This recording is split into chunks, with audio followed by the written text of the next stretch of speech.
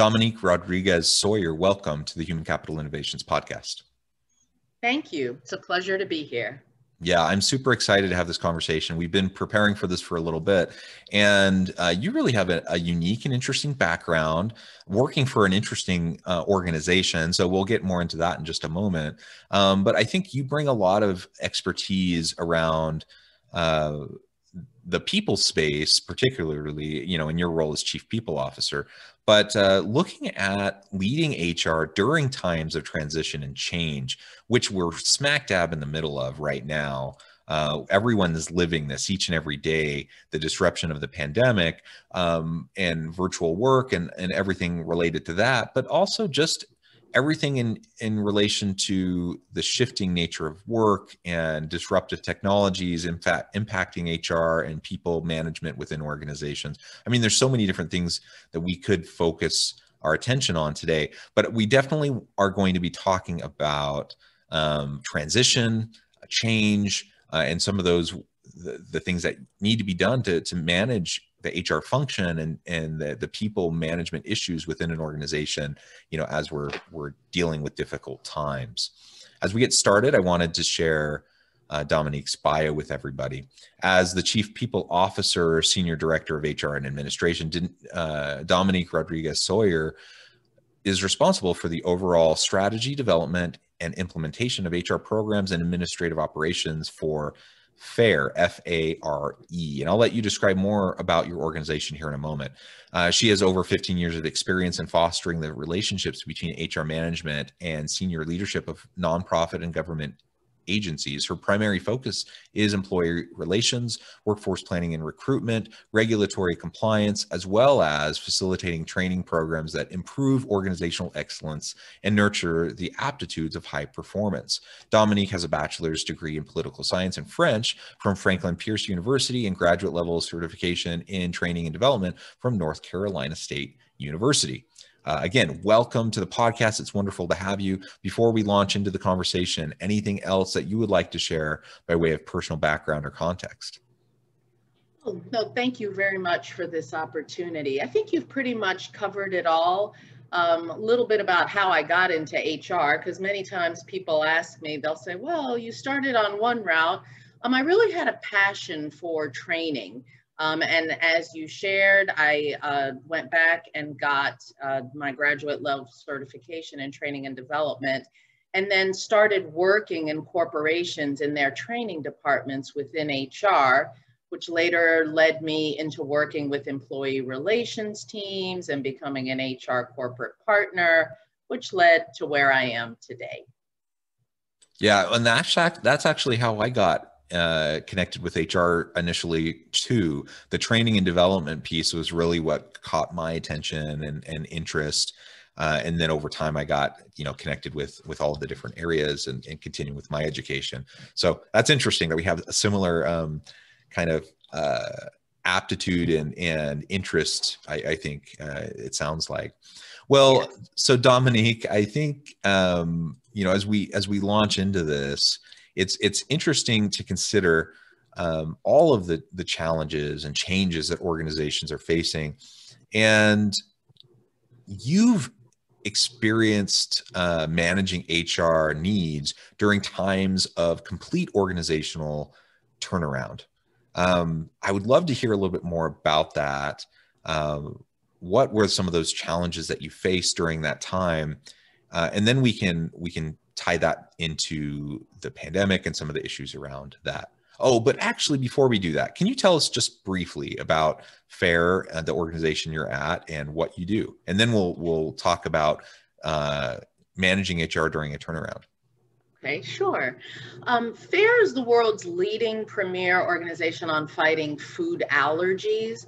Uh, there are 32 million Americans uh, living with potentially threatening food allergies. So our mission here at FARE um, is to enhance the lives of those individuals, um, empowering them to lead safe, productive lives, you know, with the respect of others. And we do this through a number of ways, um, through education, advocacy initiatives, you know, as well as improved awareness around healthcare options and treatments. So that's a quick snapshot of all that we do. Excellent. And I, appreciate that. It sounds like a wonderful organization doing really important work. Um, now, tell us a little bit more about this experience you've had when you're dealing with an organization going through complete a, a complete turnaround, big scale change. Okay. In 2018, uh, FARE underwent a significant reorganization. Um, it wasn't an easy feat. And I have to tell you, Jonathan, it's probably one of my greatest challenges. First, uh, 45% of the organization was being laid off. So you can imagine crossing my mind were thoughts on how would we maintain morale and continue moving the needle on the critical work of the mission. Um, what can often happen in situations like these um, that is that individuals living through a reorg can become frozen and unsure about their future and thereby becoming less productive. So you have the case where um, there are individuals leaving the organization, you have those that are there, and it's almost like everyone becomes stuck. Additionally, our incoming CEO was evolving FARE's business approach from a typical nonprofit to a very energetic startup. So the most important thing to me was that we treat our outgoing employees with compassion and respect. I mean, they had invested a lot of, of themselves into it, so it was important that we do that. I would suggest that for any organization going through this, to put a plan in place to offer assistance to the departing employees. So that could include a whole number of things, you know, outplacement services, compensation packages, recommendation letters, etc., things of that nature. But then don't stop there, because for those remaining, we had to be honest with them and explain the plan to move FARE forward. So my additional guidance to those to, to any organization going through this is that at every step where it's possible, involve the staff as stakeholders, giving them input into the direction and actions that leadership is taking.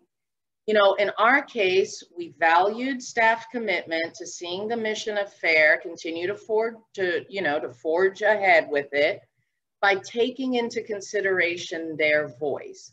Um, you know, by doing this, you're optimizing your opportunity for success. Yeah, well, that, that's interesting. And I, I actually uh, had a, a, somewhat similar experience, um, not not as uh, in, in, a role like yours, but I was on the board of directors of an organization uh, that was going through a similar transition of a nonprofit to more of a th- this kind of learning organization tech startup space um, mm-hmm. and fundamentally shifting the the nature i mean some of the core um, products of the of the organization remain the same but there were a whole new slate of products and services that were being developed. And really the positioning of the organization just shifted right? And and moving again into really considering the organization which was a 40 year old organization really moving into like startup space and, mm-hmm. and, and innovation. And it's it's it's it's hard. It's really yes. hard. It's it's hard on everybody. So i can relate to to some of what you're describing and being in the in the weeds and the daily grind of going through that transformation i can only imagine how hard that would be. I only saw it from the you know from the thousand foot view from the board of directors. So that's that's really great. Um, so let's talk a little bit more about um, some of the advice that you would give to HR leaders when they're going through similar types of, of challenges uh, within their organization. You know, maybe not a, a, nonprofit moving into more of a startup kind of a mentality, but but yeah. you know, we all deal with with change and with disruption and transition, and and perhaps it's even just in how we deal with it during times of the pandemic. Right.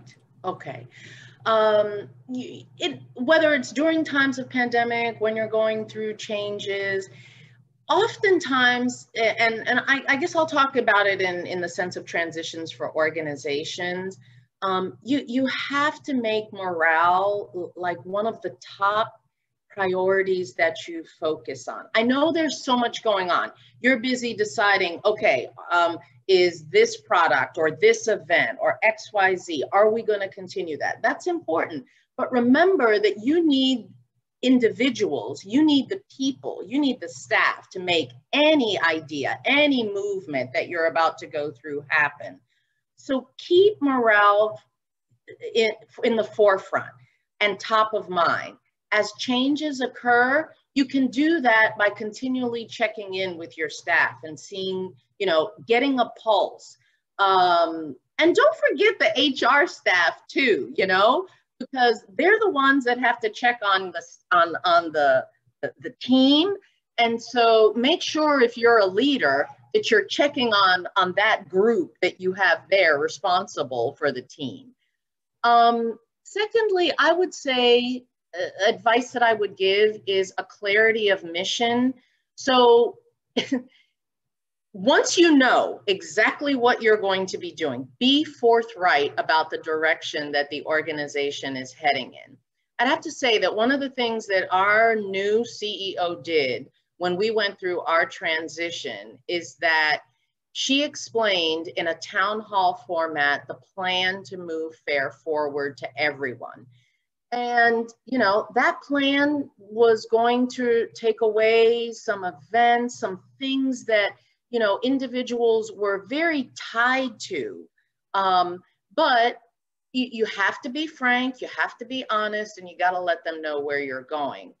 I think another item, and finally for me, is figure out the resources needed to up level the skill set of those staff that remain. So, you know, I have a bias towards training. So, getting staff the necessary training they need to prepare them for the new business environment.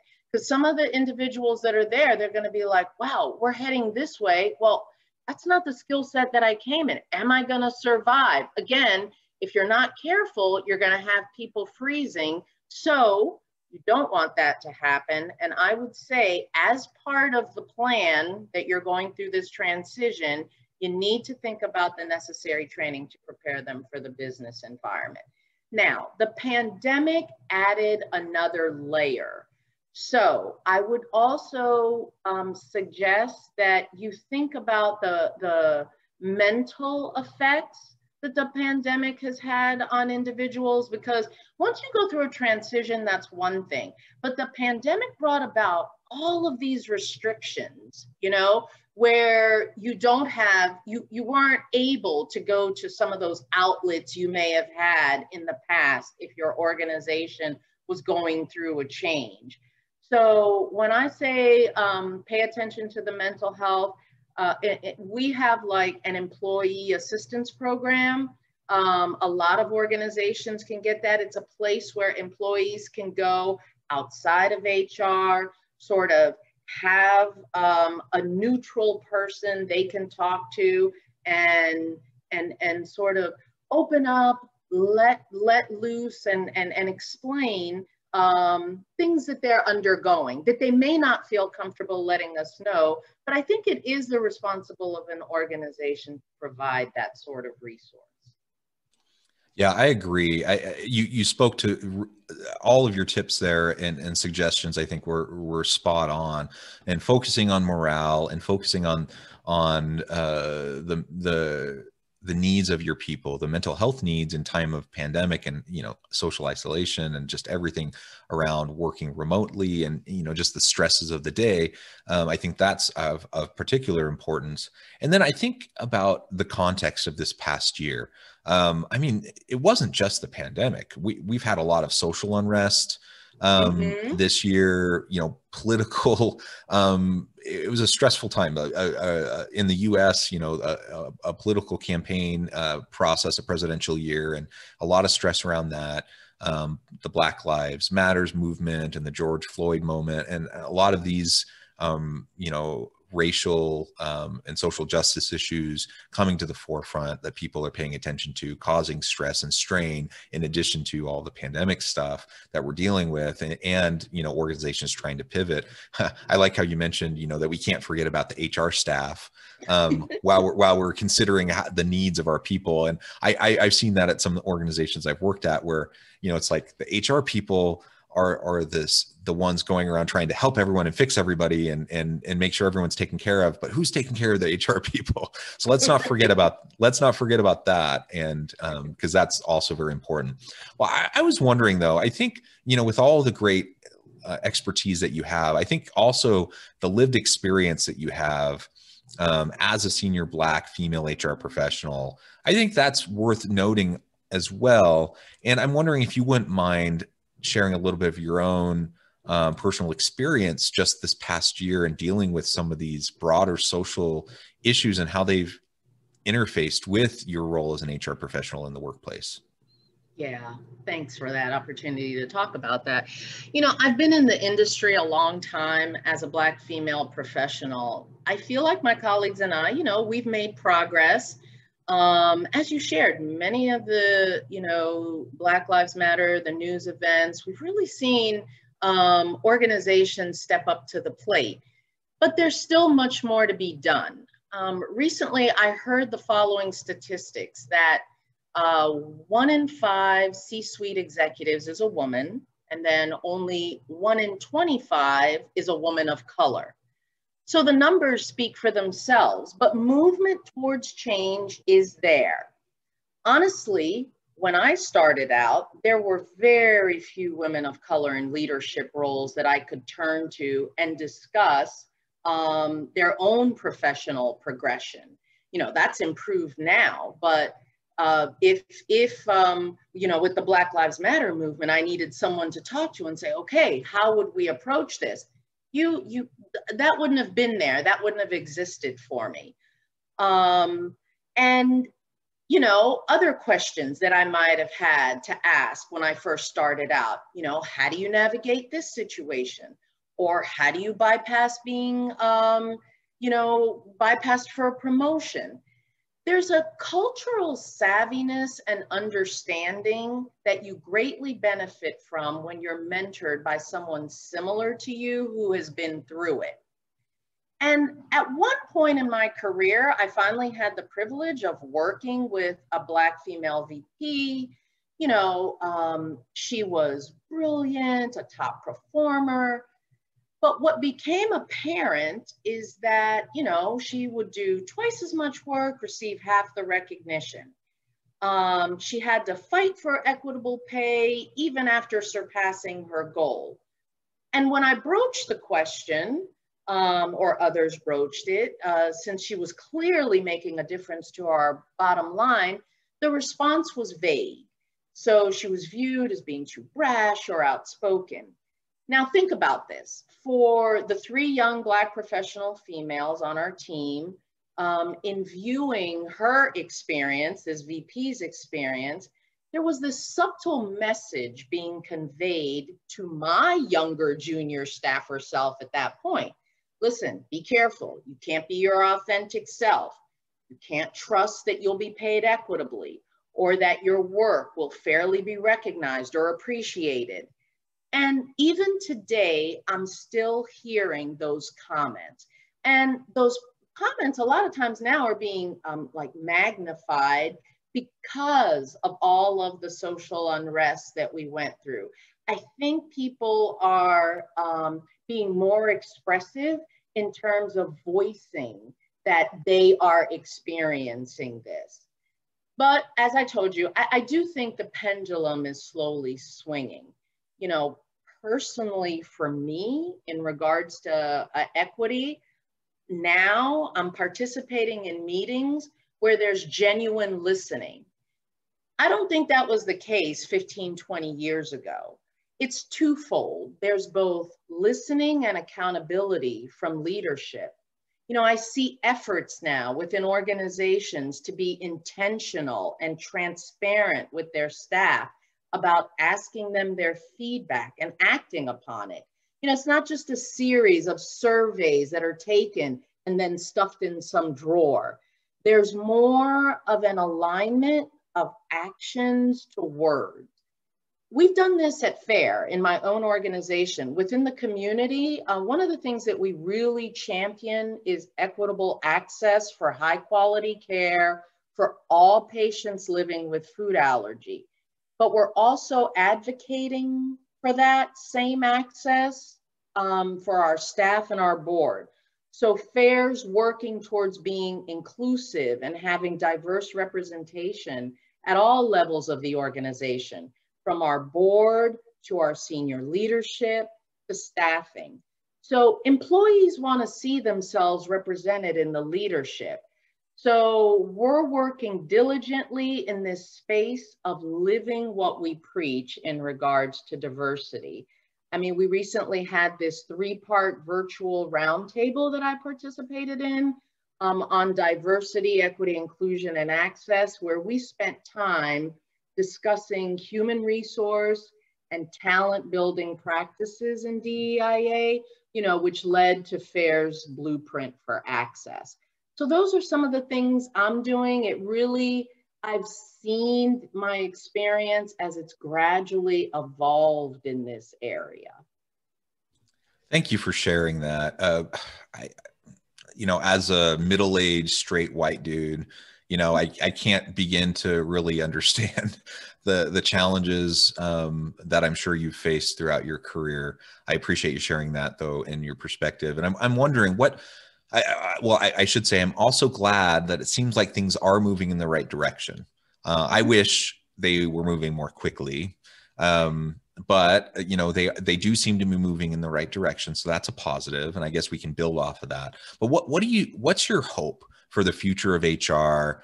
Um, you know, not not just your future, but the future for for all women, for all women of color, and for HR as a profession as you move into this unknown future. You know, and how how do we strive for greater, you know, equality in the workplace and just make sure that we're treating everyone with appropriate, you know, dignity and respect that everyone deserves. You know, my hope is that this dialogue on HR equity will not become, um, HR equity in business will not become just a topic amplified for a moment in time, and that this conversation and relevant actions will continue. So, you know, we're heading down the right track, and I think that if we um, uh, sort of let up it, it th that's how we'll lose this momentum that we now are, are on.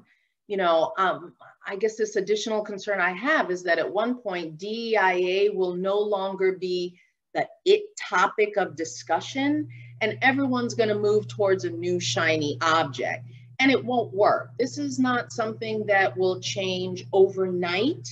It is, um, it, it's, you know, it, it's a, it's a progression you have to progress towards this change. Um, like you and I are having this dialogue right now, um, we're each gaining a better understanding of each other. Uh, equity and diversity, it has to stay top of mind on the agenda. And HR professionals like myself, we must dedicate ourselves to that end of sustaining and consistently advancing this imperative uh, because Real change in equity takes time and effort. So we just can't let up. We just have to keep going so that we can see the fruits of this time and effort. Yeah, well, thank you for that. And I, I appreciate your optimism uh, around this this topic and, and these issues. I appreciate all the perspective that you've provided and the insights, you know, around uh, related back to your expertise in dealing with some of these challenges uh, as well. Uh, Dominic, it has been a real pleasure talking with you today. The time has flown by. Uh, we're about to the end of our time, but I, before we close, I did want to give you a chance to share with listeners how they can get connected with you, find out more about what you're up to, uh, and then just give us the last word on the topic for the day. Yes, thank you for that. Um, I am always happy to talk to anyone who has uh, any questions. Um, you know, that same mentorship that was given to me for a brief period of time, I'd like to extend that to others. So you can always reach out to me at drsawyer at foodallergy.org. So we continue this conversation and have many more. Like I said, I think we just need to continue to keep um, this top of mind. Um, sometimes if we have each other as uh, to lift each other up, I think that will help make the process easier. But um, it, it's it's a it's an important dialogue that we um, can't discontinue. We must continue forward. With. It. Absolutely. Well, thank you so much. I encourage listeners to reach out, get connected with Dominique, find out more about what uh, she and her organization can do for you. And as always, I hope everyone can stay healthy and safe, that you can find meaning and purpose at work each and every day. And I hope you all have a great week.